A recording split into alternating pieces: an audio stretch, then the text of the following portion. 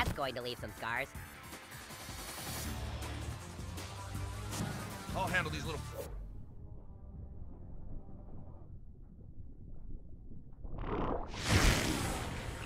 Curve.